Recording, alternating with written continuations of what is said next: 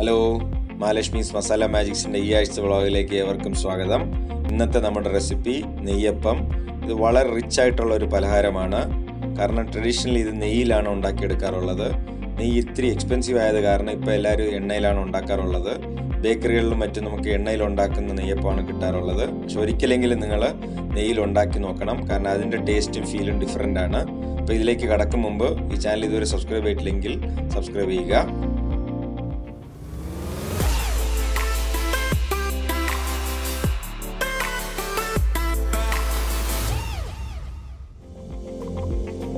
ഞാൻ നെയ്യപ്പത്തിന് വേണ്ടിയിട്ട് മുക്കാൽ കിലോ പച്ചരി എടുത്തിട്ടുണ്ട് നന്നായിട്ട് കഴുകിയിട്ടുണ്ട്. ഇതിൽ നമുക്ക് വെള്ളം ഒഴിച്ചതിന് ശേഷം ഒരു ഫൈവ് അല്ലെങ്കിൽ സിക്സ് അവേഴ്സ് കുതിർക്കാൻ വേണ്ടി വെക്കാം. ഞാൻ വെള്ളം ഒഴിച്ചു കൊടുക്കുന്നു. ആവശ്യത്തിന് വെള്ളം ഒഴിച്ചിട്ടുണ്ട്. നമുക്ക് ആറ് മണിക്കൂർ മാറ്റി വയ്ക്കാം ഇപ്പോൾ ഏതാണ്ട് സിക്സ് അവേഴ്സ് ആയിട്ടുണ്ട്. അപ്പോൾ നമ്മുടെ അരി നന്നായിട്ട് കുതിർന്ന് കിട്ടിയിട്ടുണ്ട്. നമുക്ക് ഈ വെള്ളം വാർത്ത ശേഷം ഇത് അരച്ചെടുക്കാം. വെള്ളം വാർന്ന് കിട്ടാനായിട്ട് ഞാനൊരു സ്ട്രെയിനറിലോട്ട് മാറ്റി ഇത് കരിപ്പെട്ടിയാണ് നാടൻ കരിപ്പെട്ടി. എപ്പോഴും നെയ്യപ്പം ഉണ്ടാക്കാനായിട്ട് ബെസ്റ്റ് അല്ലെങ്കിൽ ട്രഡീഷണലായിട്ട് ഉപയോഗിക്കുന്നത് കരിപ്പെട്ടിയാണ്. ഇത് ഒരു കിലോ ഉണ്ട്. ഞാൻ അതിന്റെ ഹാഫ് കെ ജിയാണ് നമുക്ക് വേണ്ടത് മുക്കാൽ കിലോ അരിക്ക്. നമുക്കിത് മുറിച്ച് മാറ്റാം. ഞാൻ അര കിലോ മാറ്റിയിട്ടുണ്ട്.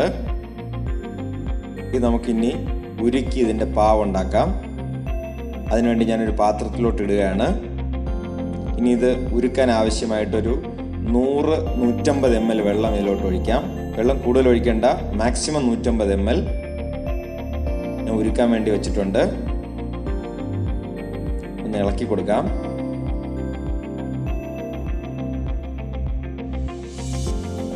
നന്നായിട്ട് തിളച്ച് പതഞ്ഞു വരുന്നുണ്ട്. നമ്മൾ ഈ ഒരു ലെവൽ വരെ നമ്മൾ ഇത് ചൂടാക്കണം. നമുക്ക് ഇനി ഇത് ഓഫ് ചെയ്ത് കൊടുക്കാം. ഓഫ് ചെയ്തു. ആ ഫോമൊക്കെ സെറ്റിലായിട്ടുണ്ട് അപ്പോൾ ഈ പുറത്ത് കിടക്കുന്ന പാട പോലത്തെ ഈ ഫോം മൊത്തം നമുക്ക് റിമൂവ് ചെയ്യണം. അത് അതിന്റെ ഇമ്പ്യൂരിറ്റീസ് ആണ് കരിപ്പട്ടിയുടെ. ശർക്കരയിൽ ഇങ്ങനെ ഉണ്ടാവും. അതെപ്പോഴും റിമൂവ് ചെയ്യുന്നതാണ് ഉത്തമം. പിന്നെ ഒരു സ്പൂൺ കൊണ്ട് നമുക്കിത് മാറ്റാം. കണ്ടോ ഇത് മാറ്റിക്കളയാം. ഇനി ഇത് ഫിൽറ്റർ ചെയ്തിട്ട് നമുക്ക് നന്നായിട്ട് തണുപ്പിക്കാം. തണുത്തതിന് ശേഷം മാത്രമേ നമുക്കിത് അരിയിൽ ഒഴിച്ചിട്ട് അരയ്ക്കാവൂ. നമ്മുടെ അരി നന്നായിട്ട് വെള്ളം വാർന്ന് കിട്ടി. ജാറിലോട്ട് ഇടുകയാണ്. നമുക്ക് രണ്ടോ മൂന്നോ തവണയായിട്ട് അരച്ചെടുക്കാം. അരിയൊക്കെ ഇട്ടു. ഒരു ഏലക്ക ഇടുകയാണ്. ഒരു എട്ട് ഒൻപത് പീസ് ഏലക്ക ഉണ്ട്. ഇതിന് പകരം നിങ്ങൾക്ക് ഒടുവിൽ ഏലക്ക പൊടിയും ചേർക്കാം. ഞാൻ മുഴുവൻ ഏലക്ക ഇട്ടു. നമ്മൾ തണുത്ത കരിപ്പെട്ടി പാവ് ഇതിലോട്ട് ഒഴിക്കാം. അരയാൻ ആവശ്യത്തിനുള്ള പാവ് ഒഴിച്ചാൽ മതി. നമുക്കിനി അരച്ചുകൊണ്ട് വരാം. അരച്ചു വന്നിട്ടുണ്ട്. രണ്ടാമത്തത് അരച്ചു. കംപ്ലീറ്റ് മാവ് അരച്ചിട്ടുണ്ട്. ഇതാണ് ആ മാവിന്റെ കൺസിസ്റ്റൻസി എന്ന് പറയുന്നത്. ഒരു ദോശ മാവിന്റെയും ഇഡലി മാവിന്റെയും ഇടയിലുള്ള ഒരു കൺസിസ്റ്റൻസിയാണ് വേണ്ടത്. പിന്നെ അരയ്ക്കുമ്പോൾ പ്രത്യേകം ശ്രദ്ധിക്കണം. കംപ്ലീറ്റ് ഫൈനായിട്ട് അരയ്ക്കാൻ പാടില്ല. കൂടുതൽ തരിയും ഉണ്ടാവാൻ പാടില്ല. ചെറിയതായിട്ട് തരിയുള്ള രീതിയിലാണ് അരച്ചെടുക്കേണ്ടത്. നമ്മളിങ്ങനെ തൊട്ട് നോക്കുമ്പോഴത്തേക്ക് ചെറുതായിട്ട് തരി ഉണ്ടാവണം. കണ്ടോ? എന്ന് പറഞ്ഞ് കൂടുതൽ തരി വേണ്ട. ഇതാണ് ഈ മാവിന്റെ കൺസിസ്റ്റൻസി നമുക്ക് കുറച്ച് തേങ്ങ നെയ്യിൽ വറുത്തെടുക്കാം. ഒരു പാൻ ഹീറ്റ് ചെയ്യാൻ വെച്ചതിലോട്ട് രണ്ട് ടേബിൾ സ്പൂൺ നെയ്യ് ഒഴിക്കുകയാണ്. അതിലേക്ക് അരിഞ്ഞ തേങ്ങ ഉണക്ക തേങ്ങയാണത്. കൊട്ടത്തേങ്ങ എന്നും പറയും. ഒരു മൂന്ന് ടേബിൾ സ്പൂൺ എടുത്തിട്ടുണ്ട്. ഇതൊരു ഗോൾഡൻ കളർ ആവുന്നവരെ നമുക്കിത് വറുത്തെടുക്കാം. ഗോൾഡൻ കളറായി ഫ്ലെയിം ഓഫ് ചെയ്തിട്ട് തണുത്ത ശേഷം നമുക്കിത് മാവിലോട്ട് ചേർക്കാം. ഞാൻ രണ്ട് ടേബിൾ സ്പൂൺ കറുത്ത എള്ള് ചേർക്കുകയാണ്. ഒരു പിഞ്ച് ഉപ്പ് അതായത് കാൽ ടീസ്പൂൺ പോലും വേണ്ട ആ സ്വീറ്റ് ബാലൻസ് ചെയ്യാൻ വേണ്ടി മാത്രം നമ്മൾ ഫ്രൈ ചെയ്ത് വെച്ച നെയ്യും തേങ്ങയും കൂടെ ഇടുകയാണ്. എല്ലാം കൂടെ നന്നായിട്ടൊന്ന് മിക്സ് ചെയ്ത് കൊടുക്കാം. എല്ലാം മിക്സ് ചെയ്തു. ഈ ഒരു പരിവാണ് നമുക്ക് വേണ്ടത്. നമുക്കിനി പുളിക്കാൻ വേണ്ടിയിട്ട് ഒരു മിനിമം എയ്റ്റ് അവേഴ്സ് എങ്കിലും വയ്ക്കണം തണുപ്പ് കാലമാണെങ്കിൽ എയ്റ്റ് അവേഴ്സ് പോരാ ടെൻ അവേഴ്സ് വേണം. ചൂട് കാലമാണെങ്കിൽ എയ്റ്റ് അവേഴ്സ് മതി. നമുക്കിത് അടച്ചു വയ്ക്കാം നമ്മുടെ മാവ് ഇന്നലെ രാത്രി വെച്ചാണ് ഏതാണ്ട് നയൻ അവേഴ്സോളം ആയിട്ടുണ്ട്. അപ്പോൾ അത്യാവശ്യത്തിന് പുളിച്ചിട്ടുണ്ടാവും. കണ്ടോ? പുളിച്ചിട്ടുണ്ട്. അതാണ് മാവ് കുറച്ചും കൂടെ തിക്കായത് നന്നായിട്ടൊന്ന് ഇളക്കി കൊടുത്തു കഴിഞ്ഞാൽ കുറച്ച് ഡൈല്യൂട്ട് ആവും. തീരെ കട്ടിയായി കഴിഞ്ഞാൽ നിങ്ങൾക്ക് ആ പാവിൽ ബാക്കിയുണ്ടെങ്കിൽ കുറച്ച് ഒഴിച്ച് നിങ്ങൾക്ക് ലൂസൻ ചെയ്യാം. നമ്മുടെ മാവ് റിക്വേർഡ് കൺസിസ്റ്റൻസിയിൽ തന്നെയാണ് ഉള്ളത്. ഇതാണ് വേണ്ടത്.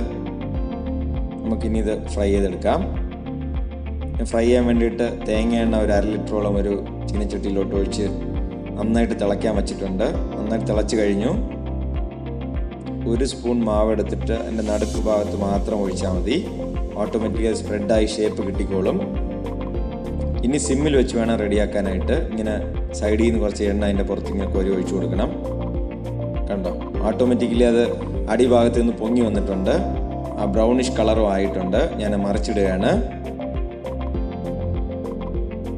നല്ല ബ്രൗൺ ആയി. സിമ്മിൽ വെച്ച് വേണം നമുക്ക് റെഡിയാക്കി. അല്ലെങ്കിൽ ഉൾഭാഗം വേഗമില്ല ഇത് നന്നായിട്ട് വെന്തിട്ടുണ്ട്. എണ്ണ സ്റ്റെയിൻ ചെയ്തതിന് ശേഷം നമുക്കൊരു പാത്രത്തിലോട്ട് മാറ്റാം.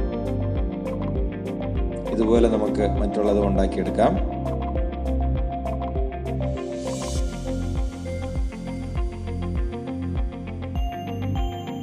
ഞാൻ ഒന്നും കൂടെ കാണിച്ചു തരാം. സെന്ററിലോട്ട് ഇങ്ങനെ മാവ് ഒഴിക്കുന്നു. പൊങ്ങി വന്നു. എണ്ണ ഇങ്ങനെ സൈഡിൽ നിന്ന് ഇങ്ങനെ അതിന്റെ പുറത്തോട്ട് എടുത്ത് ഒഴിച്ചു കൊടുക്കുന്നു. നന്നായിട്ട് ബൾജായി ബ്രൗണിഷ് ആയതുകൊണ്ട് മറിച്ചിട്ട് കൊടുക്കുന്നു. സിമ്മിൽ തന്നെ ഇട്ട് വേവിക്കണം. ഇങ്ങനെ നമുക്ക് എല്ലാം വറുത്തെടുക്കാം. ഞാൻ ഏതാണ്ട് മുക്കാൽ കിലോ അരിയിൽ ഏതാണ്ട് ഒരു ഇരുപത്തിയെട്ട് നെയ്യപ്പ് റെഡി ആയിട്ടുണ്ട്. ഇരുപത്തഞ്ചിന് മുപ്പതിന് ഇടയ്ക്ക് നിങ്ങൾക്കും കിട്ടും. വളരെ ക്രിസ്പി ആയിട്ടിരിക്കും ഇതിന്റെ ഔട്ടർ ഭാഗം. പക്ഷെ ഉള്ളിൽ നല്ല സോഫ്റ്റ് ആയിട്ടിരിക്കും. എന്നാൽ മാത്രമാണ് നമുക്ക് ആ ടേസ്റ്റി ആയിട്ട് കഴിക്കാൻ പറ്റുക. വളരെ എളുപ്പത്തിൽ ഉണ്ടാക്കാൻ പറ്റും. കണ്ടോ? നല്ല ഷേപ്പും കിട്ടിയിട്ടുണ്ട്. മാവിന്റെ ആ പരുവം വളരെ ഇമ്പോർട്ടന്റ് ആണ്. പിന്നെ ഇത് കരിപ്പട്ടി കൊണ്ടുണ്ടാക്കിയതാണ്. അപ്പോൾ ട്രഡീഷണൽ ടേസ്റ്റും കിട്ടും. അപ്പോൾ നിങ്ങൾ എല്ലാവരും ട്രൈ ചെയ്ത് നോക്കുക. വളരെ എളുപ്പത്തിൽ ഉണ്ടാക്കാൻ പറ്റും. എന്ത് കമൻസ് ഉണ്ടെങ്കിൽ അറിയിക്കുക. ഇഷ്ടപ്പെട്ടുണ്ടെങ്കിൽ ലൈക്ക് ചെയ്യുക ഷെയർ ചെയ്യുക. കണ്ടോ? ഔട്ടർ ക്രിസ്പിയും ഉൾഭാഗം നല്ല സോഫ്റ്റുമാണ് നിങ്ങൾ എല്ലാവരും ട്രൈ ചെയ്ത് നോക്കുക.